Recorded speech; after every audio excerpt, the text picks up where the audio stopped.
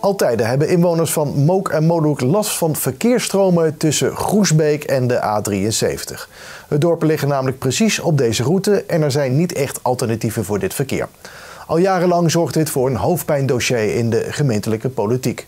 Maar inmiddels zijn zowel het college als de gemeenteraad het erover eens: er bestaat geen oplossing. Dus bewoners moeten er maar mee leren leven.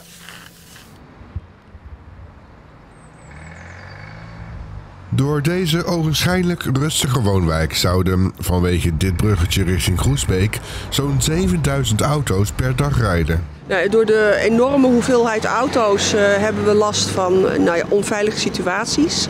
Auto's halen vreemd in, uh, ze rijden te snel. We willen graag dat de gemeente zoekt naar een oplossing waar het verkeer eerlijker verdeeld wordt over de andere uh, wegen die die richting de snelweg gaan. Maar het is niet zo dat de gemeente tot nu toe achterover heeft gezeten. Er zijn drempels gelegd op de rembaan ringbaan. Er zijn varkensruggen gelegd op de Goesbeekse weg. Er zijn plantenbakken geplaatst. Er is van alles en nog wat gedaan.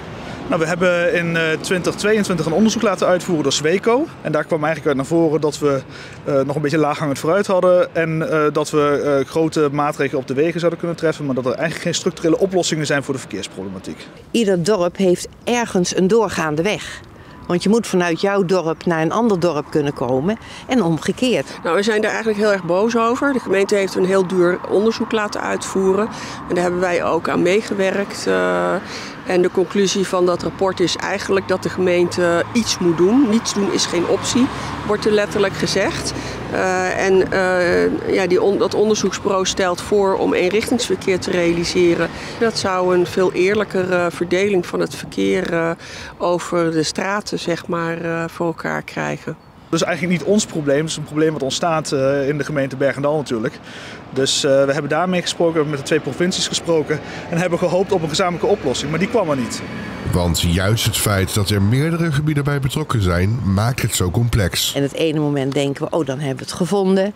Maar dan komt er weer een bezwaar van de ene groep of een bezwaar van een andere groep. Er is gewoon geen draagvlak in de regio. Het wordt niet eh, onderschreven als een regionaal probleem. Er is geen financiële steun uit de regio. En als we kijken naar een aanpakken van die wegen, dan hebben we het over meerdere miljoenen. Ja, dat geld hebben we gewoon niet. In die zin heb ik wel de steun van de andere provincies en de andere gemeentes nodig. En als die er niet is, dan kan ik ook de wegen niet aanpakken. Toch vinden veel bewoners dat de gemeente niet genoeg haar best doet en kan een oplossing om het leed te verzachten al gemakkelijk worden genomen. Nou ja, wat we uh, de afgelopen 30, uh, bijna 40 jaar hebben gedaan is altijd weer onderzoeken doen, kleine maatregelen treffen en nooit een perfecte oplossing kunnen vinden. En daarom hebben we nu de conclusie getrokken van nou laten we dan maar stoppen met het structurele oplossingsverhaal. Ja, weet je, dan, dan krijgen wij gewoon de shit van het onvermogen van de gemeente op ons bord. Bovendien, het verkeer neemt ook toe. Wat wij willen is dat het uh, verkeer beter verdeeld wordt. En dat kan dus onder andere door uh, eenrichtingsverkeer te realiseren. De raad die heeft gezegd, we kunnen wel iets doen, maar het is geen structurele oplossing. En dat gaan we straks ook bekijken bij de financiën met de kaderbrief. Welke financiën hebben wij over om eventueel nog iets van een aanpassing te doen, maar een grote oplossing zit er niet in.